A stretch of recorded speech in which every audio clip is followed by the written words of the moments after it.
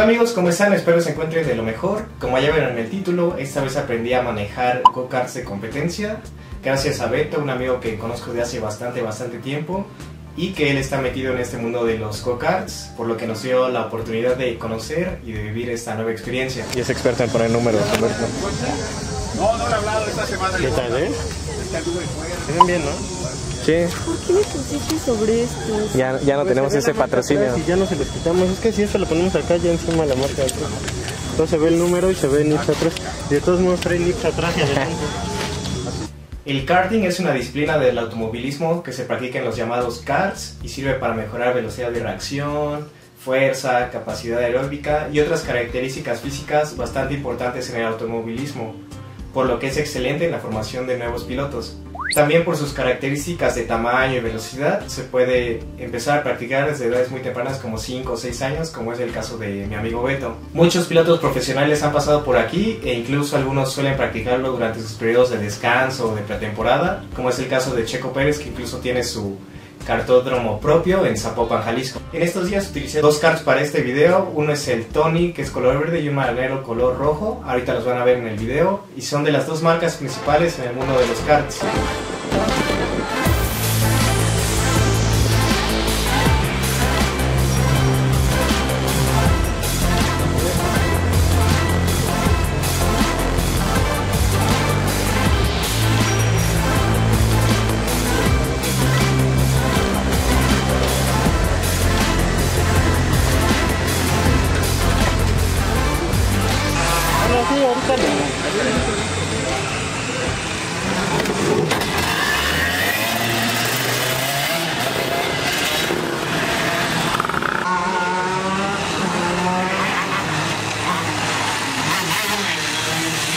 Mientras editaba el video me di cuenta que no se logra apreciar la magnitud de este ambiente. La verdad los sonidos de los saltos son estruendosos. Imagínense, tan solo en una recta de 50 metros se alcanzan velocidades de más de 100 km por hora. A pesar de que los motores son de 125 centímetros cúbicos y tienen nada más unos 48 caballos de fuerza. Bueno, Beto me comentó que esta pieza de Cuernavaca es una de las de mayor nivel en México y la verdad noté la diferencia entre alguien experimentado y alguien como yo, que pues la verdad era un novato y era la primera vez en esta experiencia. En fin, los tiempos en la pista se dividen en hits de 15 minutos cada uno. Primero tienen acceso a 15 minutos personas que están de visita y rentan unos karts, digamos, no de competencia. Y después viene el segundo hit igual de 15 minutos que es particular para niños y novatos. Aquí fue donde yo empecé porque pues evidentemente soy un novato. Y después viene el hit de experimentados en autos de competencia. Y se vuelve a repetir esto. ¿Cuánto te duran unas llantas de estas? No sé, depende. En teoría, si se agarran bien duran un día. Pero si se agarran así medio mal. ¿Cuánto lleva con estas? ¿Como un mes? Cuatro semanas. No, pues. El dichoso puntito es este. O sea, ya no existe. Pasa primera. ¿Hacia adelante? Va, a- va a ir en neutral. Entonces tú cuando te empujen lo pasas en primera. Y luego de ahí es primera. Ya arrancado el coche. Segunda, tercera, cuarta, quinta, sexta. Y luego para abajo. Quinta, cuarta, tercera, segunda, primera. Normal. Ah, el casco, güey. No, pues así como le vas a dar. Voy a estrenar las llantas de Humberto, me las voy a acabar en una vuelta. Mira, va a salir. Fíjate muy bien en las rayas, ¿eh? Mira, ven.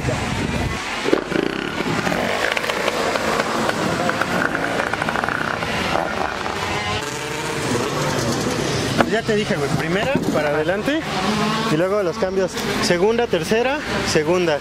No, no cambies más de ahí, güey. Segunda, tercera, dale, ¿vale? Fíjate bien en la línea de salida y todo. Y ya viste por dónde se entra también, ¿vale? Ten cuidado con esos güeyes. Aguas con las llantas. Va muy pegado a las llantas.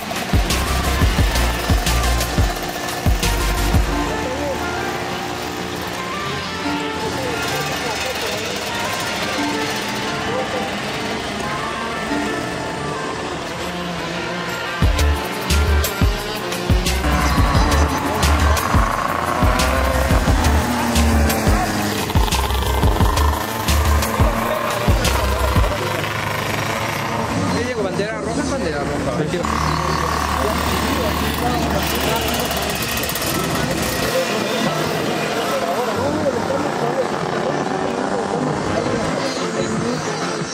Podemos ver lo que le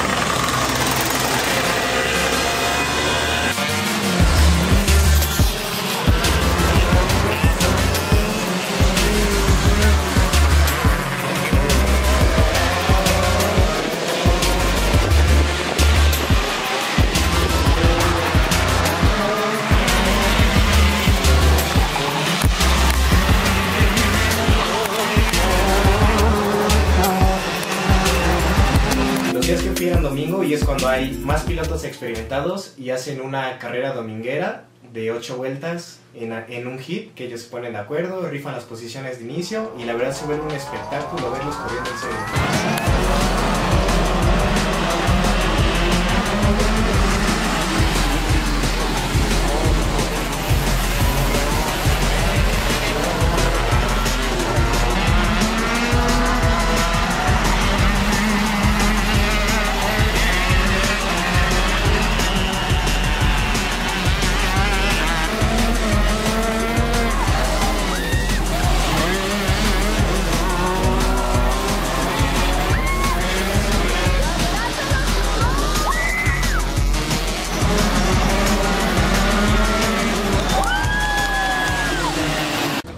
¿Todo lo tenías fríamente calculado, Humberto? No, güey.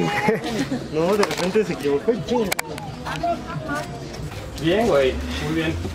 Estuvo bueno, estuvo Qué bueno. divertido, güey. Pero es que cuando corres con alguien limpio así tiene que ser, güey.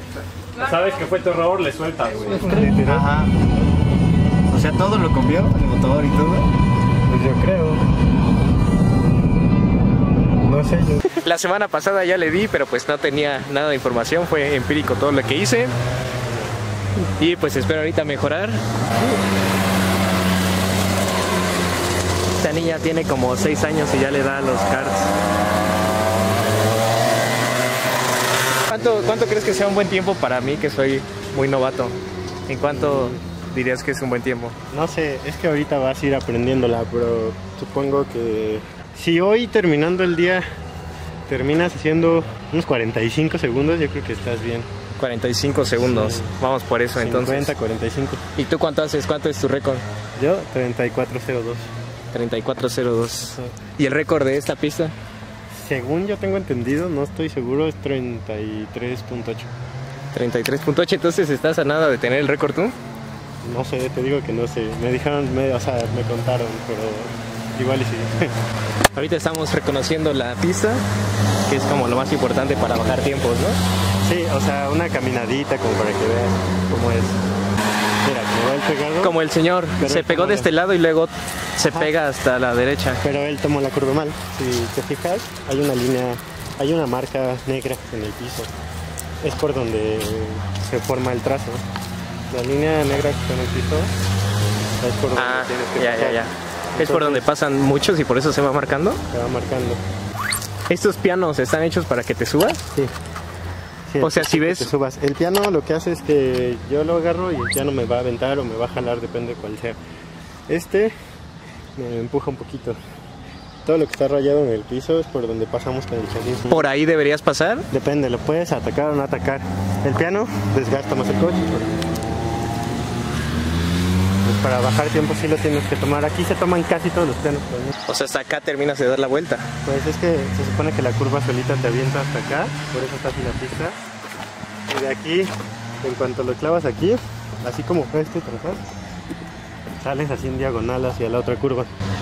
Donde está la meta es donde empiezas a dar vuelta más o menos por la A. Ok. O sea, tienes que pasar por la A.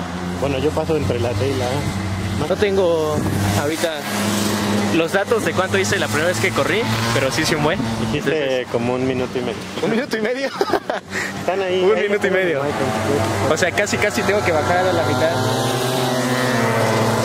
No, la vez pasada no le pudiste dar mucho tiempo y ahorita Ajá. como venimos nada más los dos, tenemos dos cards y Ok. vas a usar este.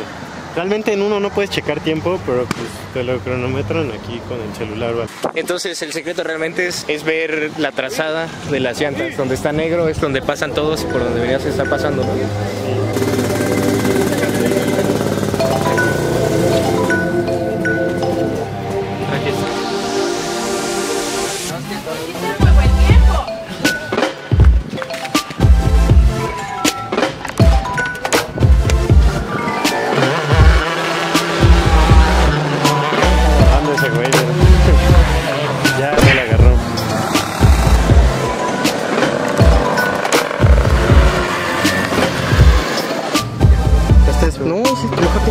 51. 51. Estamos a 6 segundos de el objetivo de hoy. Objetivo de hoy. 51. Sí, porque yo vi 51 y dije a lo mejor es mi mejor tiempo, pero no sabía. Sí. En este siento que el carro es el que te pide el cambio y en ese, no te dice nada, ese como que va bien. Trae más huevos, por eso le- no le cuesta moverse abajo. Ajá. Este trae menos caballos, entonces le cuesta más moverse abajo. Y este, o sea, yo ya ni sabía qué velocidad iba porque en todas iba bien, ya tenía como que bajar. en la velocidad que vayas te baja. Ajá. La última cosa que sentí que no estaba haciendo bien eran los cambios de velocidad, entonces quizás sí podía mejorar mi tiempo. Le pregunté a Beto más o menos cuáles eran las velocidades que él manejaba en la pista. Aquí entra en tercera. Saliendo de ahí subo a cuarta. Llegando allá va para segunda. Tercera, cuarta, quinta, sexta. Entro en tercera. Cuarta, segunda, tercera, cuarta, segunda, tercera, cuarta, quinta, segunda, tercera, cuarta, quinta, sexta y otra vez. Entonces ya vi, ahorita me explicó lo de las velocidades. Voy a intentar bajar dos o tres en cada vuelta, porque había unas vueltas que ni siquiera bajaba velocidad. Igual y de ahí sacamos los 6 segundos que vamos a bajar para el objetivo de hoy de 45 segundos.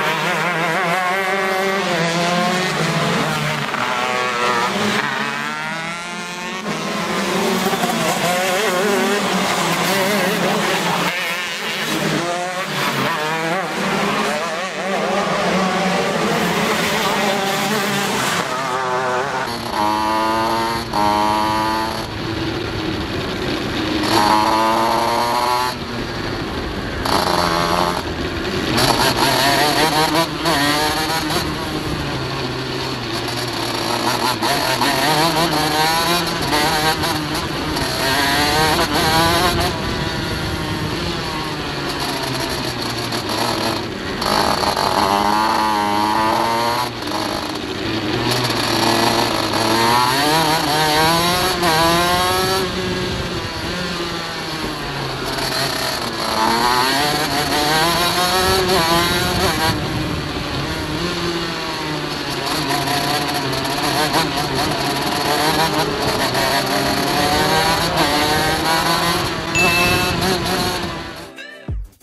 Bueno amigos, llegamos al final del video. La verdad es que fue una experiencia súper padre.